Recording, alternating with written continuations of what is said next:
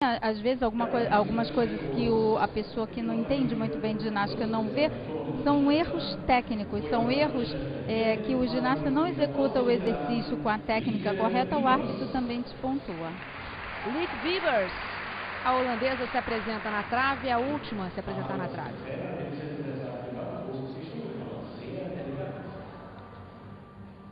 Ela faz uma entrada mais simples. Mas tem uma postura de balé linda essa menina. Fez uma cortada, salto gato, que é uma sequência de saltos ginásticos.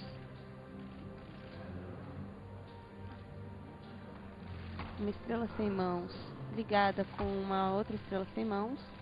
A segunda estrela sem mãos não conta, só conta a primeira para dar o valor do elemento e a bonificação do, da sequência. Ela fez um giro de perna alta, um duplo giro, que é um, é, é um exercício de balé que é muito difícil você fazer na trave.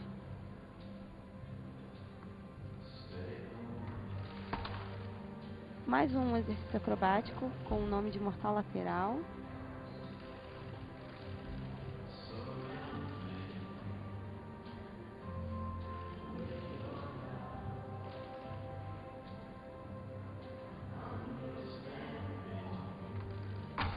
Mais, uma, mais um elemento acrobático, que o nome é Iber sem mãos, e um salto anel, que são um salto com os dois pés na cabeça.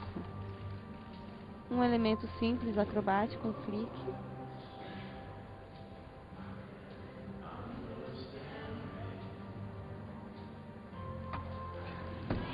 E uma saída de Albar piruete meio. Foi uma série com uma postura muito boa, o balé lindo, a postura de balé, só que não teve grandes dificuldades, não tiveram assim, muitas ligações para que a série saísse de um, um valor muito alto. Essa foi a Lick Beavers, da Holanda, a última a se apresentar na trave.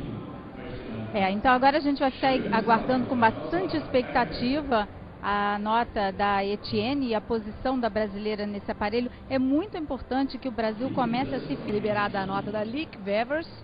Ela fica com a medalha de prata, 13,875, fica na segunda posição. A gente pode observar que ela não teve grandes dificuldades nessa época.